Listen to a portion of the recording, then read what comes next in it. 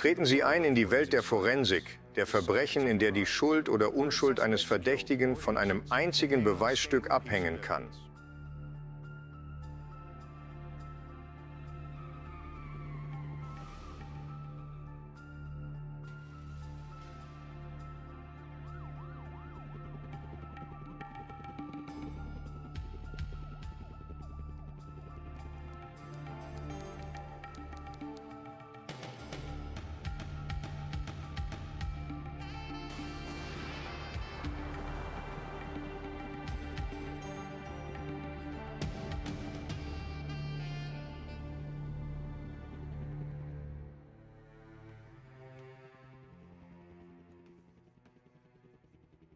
Was sagt die Handschrift über uns aus? Ist unsere Handschrift so einzigartig wie Fingerabdrücke? Unser erstes Beweisstück A, das ist alles, was ich Ihnen im Moment zeigen kann. Ihr Name war Debbie.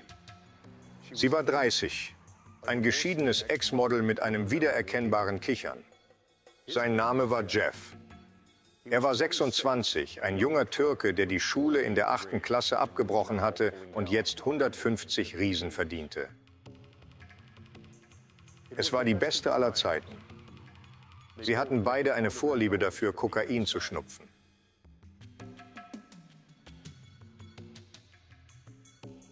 Das Leben auf der Überholspur war gut.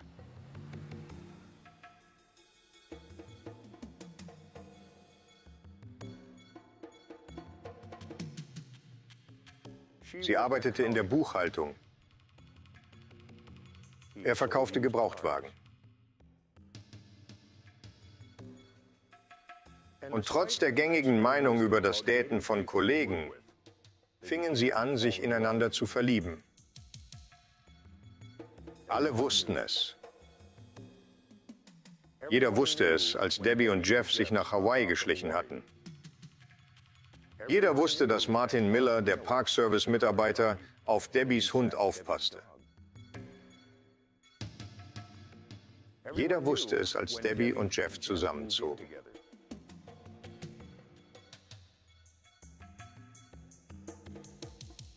Jeder wusste, wann ihre Beziehung auf Schwierigkeiten stieß.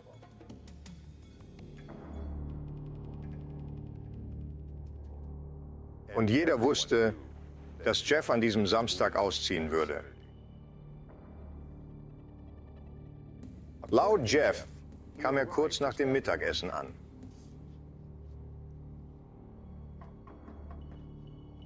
Nichts bereitet ihn auf das vor, was da drin ist.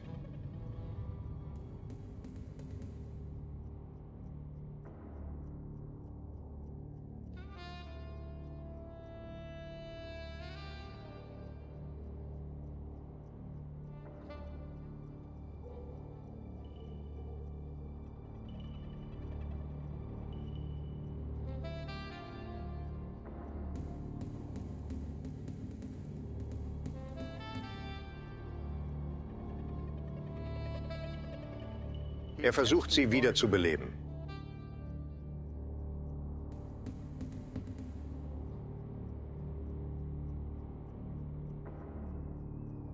Während er auf die Polizei wartet, folgte ein weiterer Schock.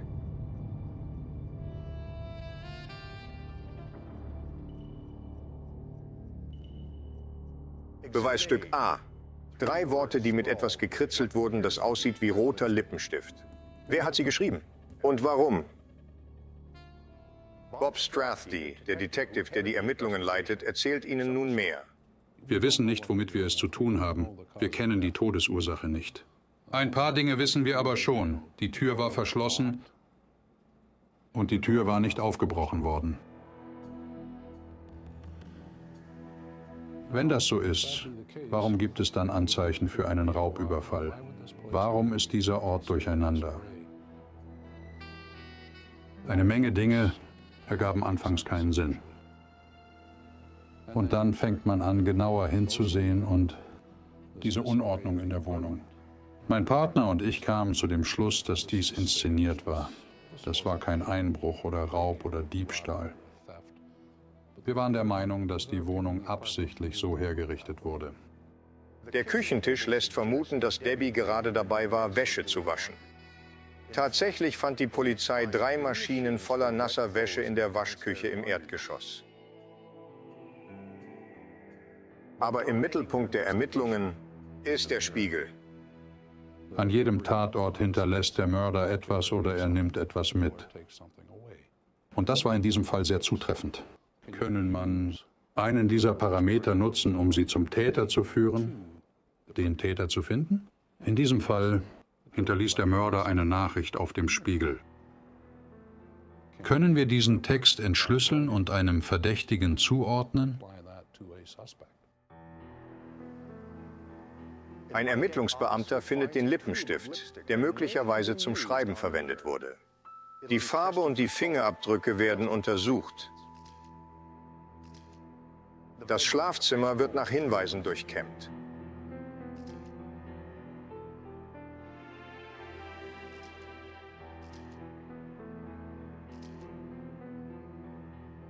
Zurück auf dem Revier. Ist Jeff einer der Ersten, den die Ermittler befragen? Er gibt zu, dass in letzter Zeit seltsame Dinge passiert sind. Leute haben ihn angerufen und aufgelegt.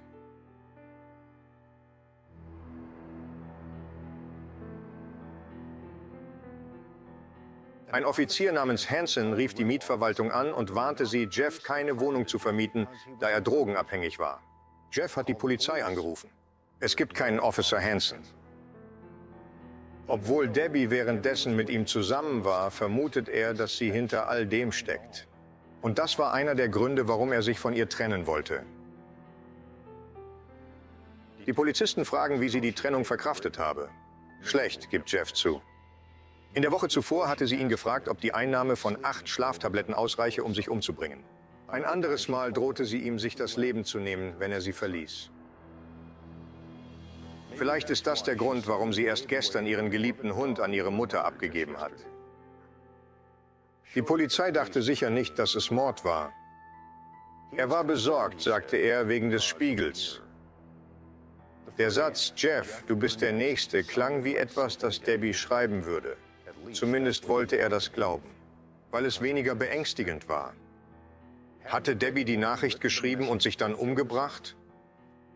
Um das herauszufinden, müssen wir einen Blick auf Beweisstück A werfen.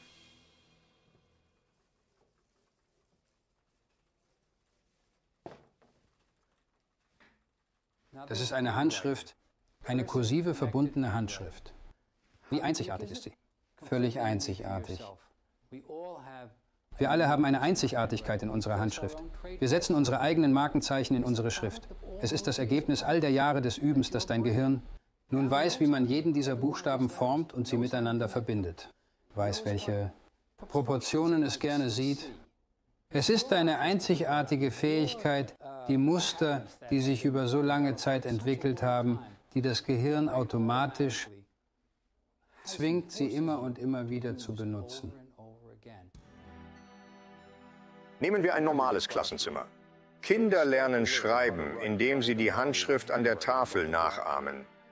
Aber schon nach kurzer Zeit, wenn eine Lehrerin die Arbeiten einsammelt, kann sie wahrscheinlich die Handschrift jedes Schülers erkennen, ohne auf den Namen zu schauen.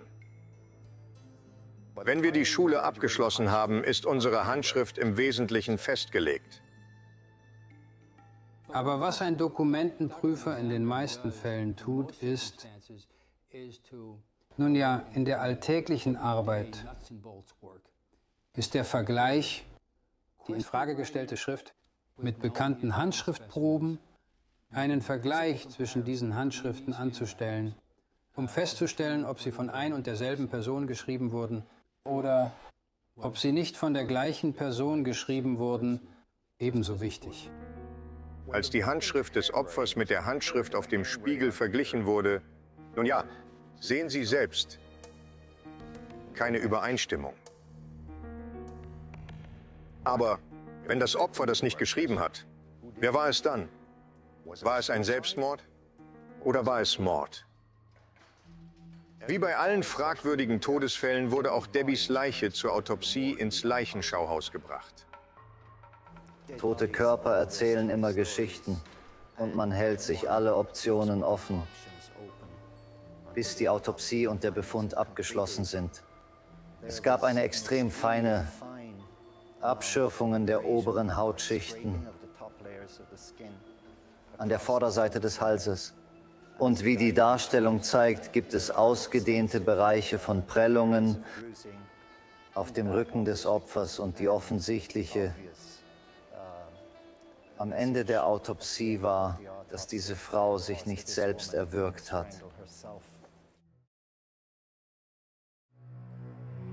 McAuliffe kommt zu dem Schluss, dass das Opfer von hinten erdrosselt wurde, wobei der Angreifer möglicherweise auf ihrem Rücken kniete, während er sie würgte. Außerdem könnte das Opfer zum Zeitpunkt ihres Todes ein Tuch um den Hals getragen haben, das der Angreifer auszog. Die Art und Weise, wie die Leiche gefunden wurde, lässt jedoch auf etwas anderes schließen. Die Positionierung der Leiche, die Ruheposition. Es handelt sich nicht um jemanden, der das Mädchen hasste.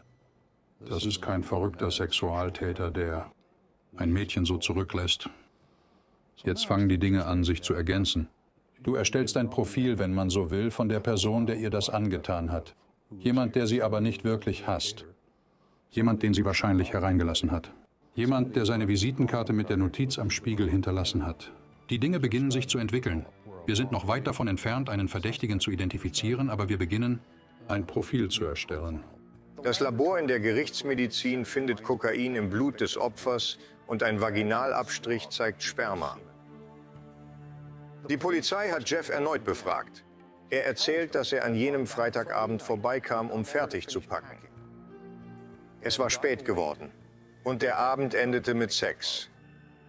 Am Morgen des Mordes, als er gerade den Umzugswagen abholen wollte, flehte Debbie ihn an, sie seine Wäsche waschen zu lassen. Er sagte, sie müsse das nicht tun. Das war das letzte Mal, dass er sie lebend gesehen hat. Er schwört, dass er den Rest des Morgens damit verbracht hat, den Umzug vorzubereiten. Detective Strathdy erfuhr von der Telefongesellschaft, dass jemand das Opfer aus Montreal angerufen und um 10 Uhr 56 42 Sekunden gesprochen hatte. Es war einer von Jeffs Autokontakten. Aber er erinnerte sich daran, dass das Opfer gesagt hatte, sie wolle sich an diesem Abend in einem Lokal namens Illusions richtig betrinken. Der Plan war, mit ein paar Freundinnen und vielleicht Martin Miller, dem Park Service-Mitarbeiter, hinzugehen. Zwei Tage nach dem Mord kommt Martin zur Arbeit und trägt ein Kreuz, das ihm Debbie gegeben haben soll, weil er auf ihren Hund aufgepasst hat, als sie auf Hawaii war. Aber ein Kollege erinnert sich, dass Debbie das Kreuz in der Woche zuvor getragen hat. Martin Miller hat Autos getankt und Autos gewaschen. Das war seine Aufgabe. Und er sah sie in der Buchhaltung. Und sie war in der Tat eine attraktive, nette Frau. Und Martin wollte wohl in ihrer Gesellschaft sein. Miller behauptet, er sei wegen Debbie gehänselt worden, aber das war wirklich nichts. Oh, er mochte sie, aber sie war zu alt für ihn. Zu alt, um sie als Freundin zu betrachten. Aber wissen Sie, er mochte sie verdammt gern. Als das Thema auf seinen Aufenthaltsort am Tag des Mordes übergeht, antwortet Miller, er sei mit einem Freund namens Tony herumgefahren und sie hätten im Restaurant Grenadier mitten im High Park gefrühstückt. Ich bin zufällig im West End aufgewachsen und ich kenne das Grenadier Restaurant. Und ich wusste, dass es damals nur saisonal geöffnet war. Und ich wusste, dass es zu dieser Zeit nicht geöffnet war. Und als er erwähnte, dass er mit seinem Freund im Grenadier Restaurant war, gingen wir dem nach, um die Einzelheiten ihres Besuchs im Restaurant zu erfahren. Aber ein Lügner ist noch lange kein Mörder. Also ruft Stratty Tony an, um seine Version des Alibis zu erfahren. Und er erzählt die gleiche Geschichte. Die Einzelheiten des Restaurantbesuchs lagen Lichtjahre auseinander. Vor allem, weil es nicht passiert ist. Und nach einer Befragung von 30 bis 45 Minuten haben wir die Befragung beendet.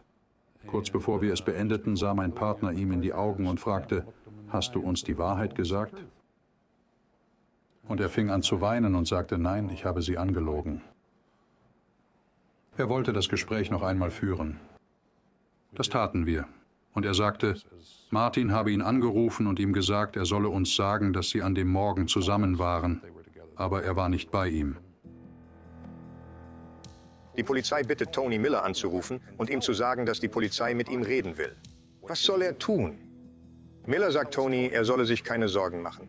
Er prahlt damit, dass die Polizei ihm alles abgenommen hat und wie dumm sie sind. Aber natürlich hat die Polizei mitgehört. Miller wohnt immer noch zu Hause. Während des Gesprächs mit der Polizei zeigt er ihnen ein Foto von Debbies Hund, welches Debbie ihm angeblich für das Aufpassen des Hundes gegeben hat, als sie und Jeff auf Hawaii waren. Aber es stellt sich heraus, dass Debbies Mutter ihr das Foto erst am Freitag gegeben hat und Jeff sich daran erinnert, es am Samstag des Mordes noch gesehen zu haben. In der Zwischenzeit behauptet ein weiterer Zeuge im Gebäude, Debbie an jenem Samstagmorgen im Aufzug mit einem Mann gesehen zu haben, der einen Kopf größer als sie war. Als die Polizei Miller befragt, beginnt er sich zu winden und sagt, er fühlt sich ein wenig benebelt. Stratty fragt Miller, ob es möglich sei, dass er an jenem Samstagmorgen zu Debbie gegangen sei. Seine Antworten deuten auf einen verwirrten Zustand hin. Nun, es wäre durchaus möglich. Also, Einfach um mir zu sagen, weißt du, okay, ich kann sie nicht erreichen. Ich gehe nachschauen, ob Debbie dort ist. Und? Kannst du uns dann bezüglich diesem Samstagmorgen helfen? Ich meine, wir wissen, dass du ein Frühaufsteher bist. Ja, klar. Wir wissen, dass du nicht mit Tony unterwegs warst. Oh Gott, komm schon, denk nach. Miller gibt schließlich verwirrt zu, dass er vielleicht gegen elf die U-Bahn genommen hat. Vielleicht hat er ihr noch mit der Wäsche geholfen. Aber dann ist er gegangen. Die nächste Befragung ist sogar noch bedeutsamer. Ich war mir sicher, dass Martin es getan hat. Aber warum will er mir nicht sagen, dass er es war? Wissen Sie, die Dinge häufen sich bei Martin. Was übersehe ich? Was den Fall wirklich erschwert, ist, dass die Polizei keine physischen Beweise hat. Gleich nach dem Mord wurde Debbies Schlafzimmer nach Hinweisen durchkämmt. Ein Beamter fand Handabdrücke an der Wand und nahm einen rechten Daumen und Handabdruck vom Spiegel. Und auf dem Boden des Raumes war ein Lippenstift gefunden worden. Bei der Untersuchung wurden keine Abdrücke auf dem Lippenstift gefunden. Und was den Spiegel und die Wand in der Wohnung betrifft, so gab es keine identifizierbaren Fingerabdrücke, die dem Opfer, Jeff oder Martin Miller gehören. Die Ermittlungen schienen zwei Schritte vorwärts und einen Schritt zurückzugehen. Angesichts des Fehlens von Fingerabdrücken und anderen Beweisen stürzte sich die Polizei auf den Spiegel, das einzige Beweisstück, das den Verdächtigen zur richtigen Zeit am falschen Ort zeigen könnte. Diese Handschrift sieht natürlich aus. Sie zeigt nicht das gekünstelte Aussehen einer verstellten Schrift. Seien wir ehrlich, wenn ich der Mörder wäre und eine Nachricht auf einen Spiegel schreiben würde, würde ich doch meine schwache Hand benutzen oder ich würde verkehrt herumschreiben. Ich weiß es nicht. Aber ich würde hoffen, dass niemand jemals herausfinden kann, wer das geschrieben hat. Aber offensichtlich hat die Person, die auf diesen Spiegel geschrieben hat, das nicht in Betracht gezogen. Und ich schätze, er hatte vor allem eine Botschaft im Kopf. Er musste diese Botschaft aufschreiben. Deshalb hat er mit seiner normalen Hand geschrieben. Die Polizei vermutete, dass der Schreiber stehend und in großen Buchstaben mit Lippenstift auf einer glatten Oberfläche schrieb, nachdem er Debbie ermordet hatte. Im Besonderen, ich war sehr beeindruckt oder interessiert an diesem kleingeschriebenen E in dem Wort Nächster. Bei diesem E fehlt ein Stück. Jetzt wäre ich wirklich daran interessiert, dasselbe Muster in dem Buchstaben E in den bekannten Proben zu finden. Wenn es das gäbe, ich denke, dass dies ein ziemlich aufschlussreicher und wichtiger Faktor wäre. Das Problem war, dass die bekannten Proben von Martin Miller mit Kugelschreiber geschrieben waren, schwer zu vergleichen mit drei Wörtern in Lippenstift. Also hatte Strati eine Idee. Er rief Millers Chef an und bat ihn, Miller dazu zu bringen, mit einem Filzstift einige große Schilder für Gebrauchtwagen zu entwerfen.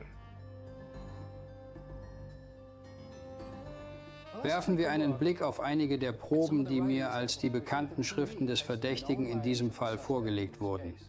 Hier ist das Wort sitzen. Beachten Sie die Spitze des E in dem Wort.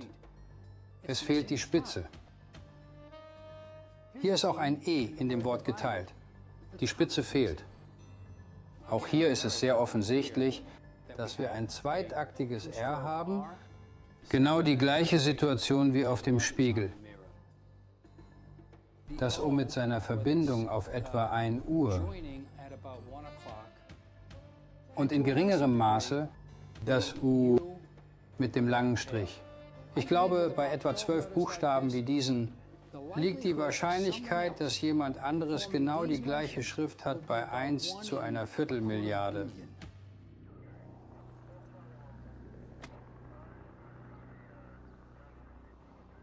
Martin Miller ist sicherlich kein klassischer Mörder.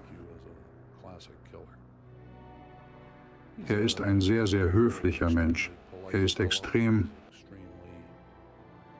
jung psychologisch gesehen. Ich glaube, er war zum Zeitpunkt der Tat 19 oder 20. Aber psychologisch gesehen war er viel jünger. Er hatte eine große Portion Respekt und das könnte man vielleicht auf die Liebe zu dem Opfermädchen ausdehnen. Sie war seine Königin.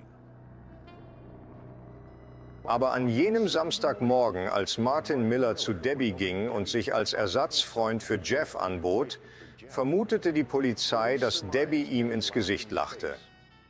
In diesem Moment übernahm der verrückte Teil in ihm die Kontrolle und er erwürgte sie.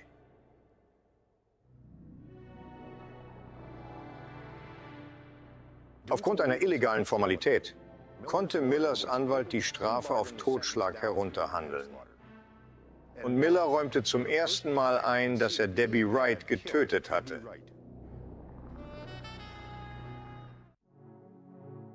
Die Geschichten in Exhibit A beruhen auf tatsächlichen Fällen. Die Namen der Opfer wurden geändert, um ihre Identität zu schützen. Die Namen der Schuldigen sind echt.